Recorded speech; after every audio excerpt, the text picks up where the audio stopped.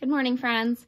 Aren't you so thankful that God doesn't require us to go through an inter- interview process in order to be accepted into the kingdom of heaven, in order to have a relationship with Him while we're on earth in order to be filled with the Holy Spirit. I'm so thankful for that today. I was thinking this morning about all the different interviews that that I had to go through to get different jobs in my life and just how when you, when you go to an interview, yeah, you bring your portfolio and it has all your qualifications in there. It has your resume listing everything that you've done, all, all the awards that you've achieved, the degrees you have, the colleges you went to. And basically in an interview, you're trying to sell yourself and you're trying to say why you deserve this job more than anybody else. And I was just thinking about how I'm so thankful that with God, we don't need to go through that process. We don't need to say, God, God, here's all my accomplishments. Here's the awards I've received. Here's my degrees. This is why I should be able to enter the kingdom of heaven. Praise God that we don't need to do that because I don't think any of us, none of us would qualify, right? None of us deserve God's grace. None of us, none of us deserve the kingdom of heaven. We're sinners. I'm so thankful today that God cares about the lowly. He cares about the weak. He chooses the common for the uncommon. God chooses the ordinary for the extraordinary. First Corinthians chapter 1, starting at verse 26. Brothers and sisters, not many of you were wise when you were called. I know I wasn't. not many of you were wise by human standards. Not many were influential. Not many were of noble birth. I definitely wasn't any of those things. But God chose the foolish things of the world to shame the wise. God chose the weak things of the world to shame the strong.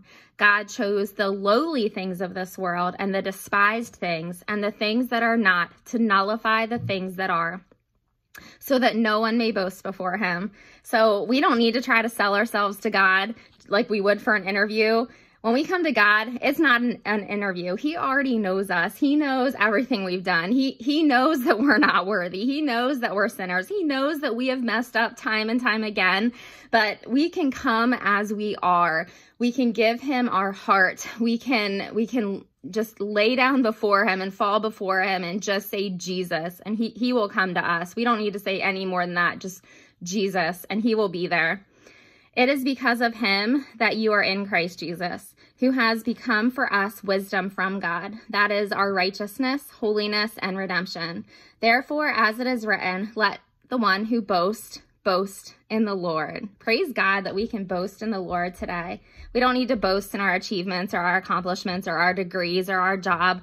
We boast in the Lord. We we have favor from God, and I'm so thankful for that. So a while back I posted on Facebook this the author is unknown, but I just I just love this and I wanted to read it to you. It's not mine. I did not write it. I always try to let you guys know when I'm reading something that I did not write. Uh, so it says, God did not send his son into the world to condemn us for our faults. Whoever believes in him is not condemned. John 3.18. See John 3.18. Why would God want me? I'm not perfect. I have all kinds of problems. I have no ability. I have no gifts.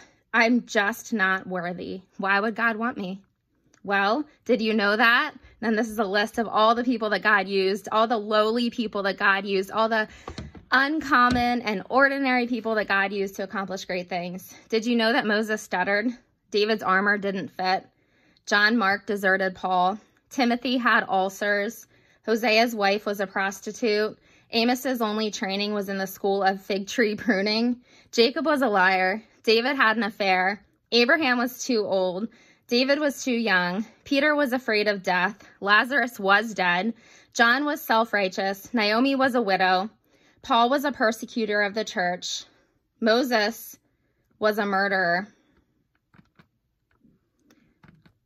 Jonah ran from God's will. Miriam was a gossip. Gideon and Thomas both doubted. Jeremiah was depressed and suicidal. Elijah was burned out. John the Baptist was a loudmouth. Martha was a worrywart. Noah got drunk. Did I mention that Moses had a short fuse? So did Peter, Paul, well, lots of folks did. Author unknown, why would God want me? We all have some deficit, some reason that God should never choose us, but he does. God doesn't require an interview for salvation. He is not prejudiced or partial. He loves us in spite of our faults. Why would God want me? Concludes with a conversation bet- between Jesus and the devil. Satan says, You're not worthy. Jesus says, So what? I am. Satan looks back and sees our mistakes. God looks back and sees the cross. God wants you and he takes you as you are. God bless you today, friend. Happy Friday.